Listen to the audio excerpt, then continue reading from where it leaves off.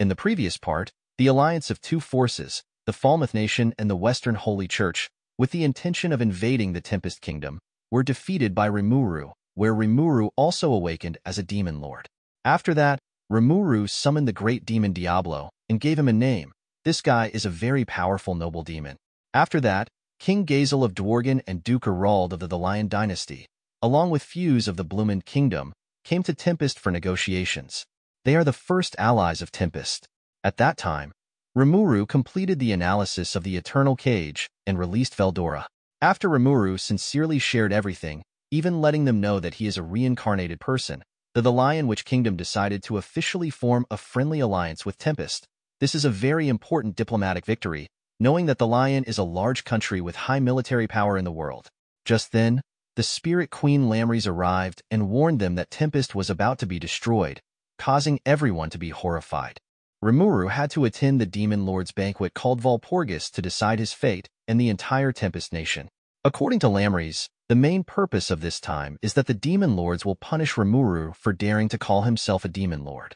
In fact, behind this is Clayman, he is also a Demon Lord, and this guy is very cunning, secretly controlling Milim to attack Demon Lord Carrion. Carrion lost, and his country was also destroyed.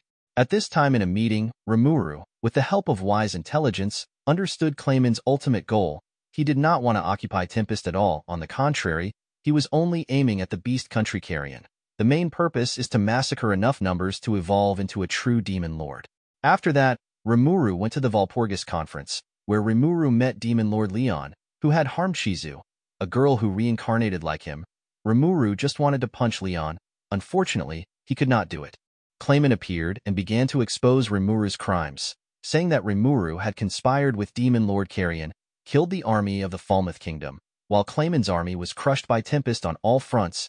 Even their headquarters were destroyed by the Princess of Tempest.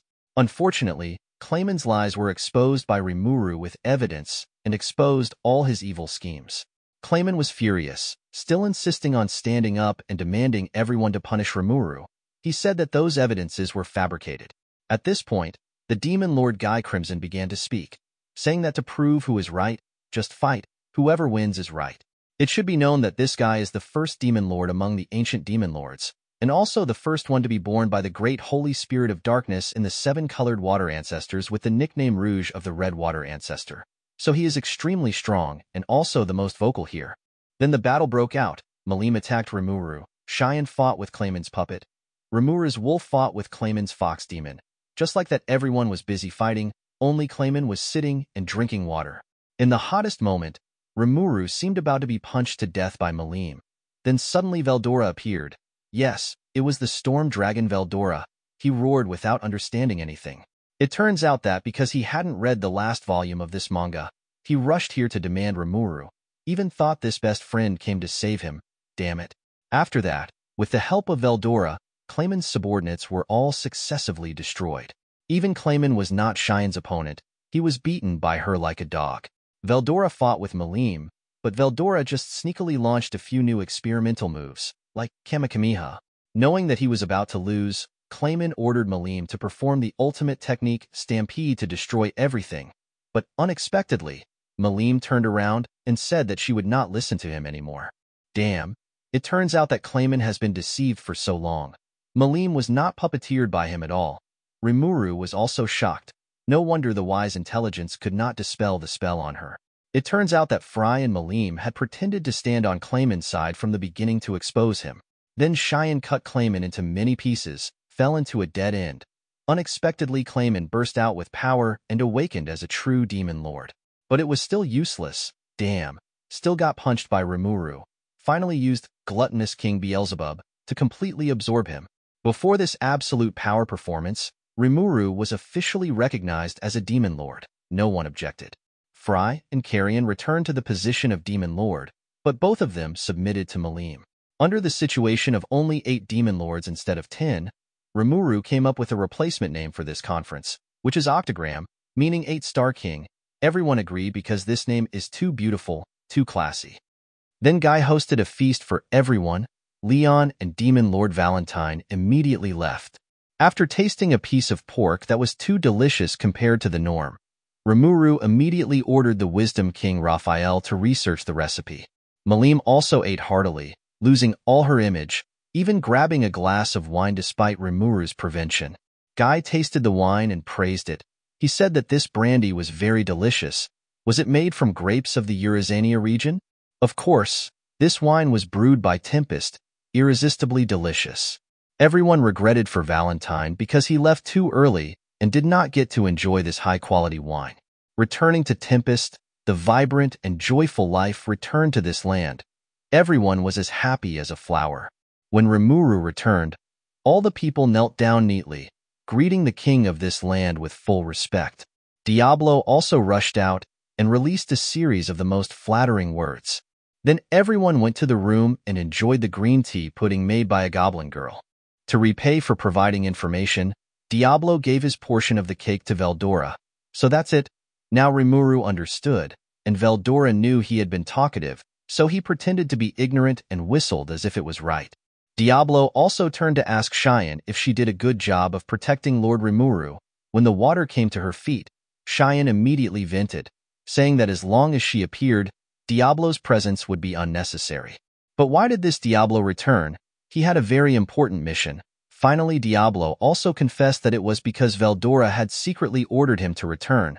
So Rimuru rushed out to question Veldora for a while, not only did not keep the secret but also arbitrarily directed the person who was working, making Veldora scared and sweating like rain. After everyone left, only Diablo and Shion were left. Then Rimuru began to ask Diablo about the plan in Falmouth. He reported that it was still developing well because he was using the spy strategy inside this kingdom.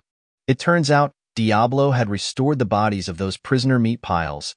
Indeed, Shion was too cruel there should be no healing magic in this world that could heal these prisoners, but Diablo had his own method. Don't forget he is also a powerful great demon. The screaming sound from Diablo's carriage also made the Yomu on this side worried, not knowing whether these prisoners were still intact to go to the Falmouth Kingdom or not. After being restored, the high priest knelt down and kept thanking Diablo-sama. At this time Razen spoke up, Please restore the king. He doesn't need it. But Diablo is a noir water ancestor demon. Everything needs to have proper conditions. He doesn't help anyone anything.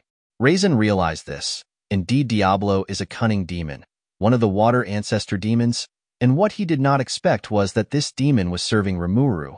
What does this prove? Rimuru looks harmless, but is actually a domineering demon lord. It's terrifying. At this point, Razen knelt down and swore to serve Diablo until his last breath. As long as Diablo healed King Edmaris, the price was too high. Diablo agreed, but did not forget to warn. The price to pay for betrayal is the complete destruction of the Falmouth nation. Hearing this, the bald high priest was terrified and knelt down, constantly flattering Diablo. King Edmaris heard these two had surrendered. He also understood the problem. Clearly, they were not opponents of Tempest and regretted too late. So he also declared, with the title of a king of Falmouth, he would swear to fulfill all of Diablo's purposes. Diablo smirked, then used the charm skill to start controlling these people. Indeed, he never trusts humans no matter what they swear. The chest containing the king's body was brought into the court. The nobles had tried everything but could not restore his body. At this point, Razen stood up and explained. He and another hero had worked together to bring the king's body back here. Everyone was surprised. This is Shogo's body, why does Razen claim to be in Shogo's body? Then everyone knew the truth. The entire Falmouth army was defeated. Even the allied forces from the Western Holy Church were all dead. Razen said that the main reason was that a dragon nearby had awakened and swept everything away. Only Razen and one other person survived. Just then the Yum appeared. Seeing this, a duke jumped out and cursed loudly. Who allowed your black people to enter here? But Razen spoke up. They are the ones who saved us. Everyone still didn't understand the story. They were all stunned like a goose. Rahim. The high priest stepped forward and explained further. He described the fierceness of the battle between the two sides. Countless people sacrificed. But this fierce battle resurrected Veldora, a powerful storm dragon. It swept away all the soldiers on both sides. But just then, a hero appeared. Diablo nodded when he heard the climax. Rahim said, that was Lord Rimuru of Tempest. He saved us from death by persuading Veldora to stop killing. This part damn made Diablo move to tears. But these nobles still didn't believe. They kept asking in detail, Isn't it true that after Veldora absorbed too many magic molecules, all the creatures around him died? Rimuru only crowned himself king of the vast Jura forest. How could he talk to Veldora? These questions made Razen and Rahiam sweat profusely, because if the plan failed, the whole kingdom would be wiped out by Diablo. Razen reluctantly said that whether self-crowned or not was not important, because Lord Rimuru had conquered the Dryad tribe and asked this tribe to persuade Veldora. These people knew that Dryad was the true owner of the Jura forest. It seemed that Ray's and Rahiam's story had convinced them. At this point, they only blamed themselves for why they went to war with Tempest. If Rimuru could communicate with the storm dragon Veldora, then fighting with Tempest was like seeking death. Just at this tense moment, Yum spoke up, Everyone don't worry. Rimuru himself also helped me defeat the Orc King.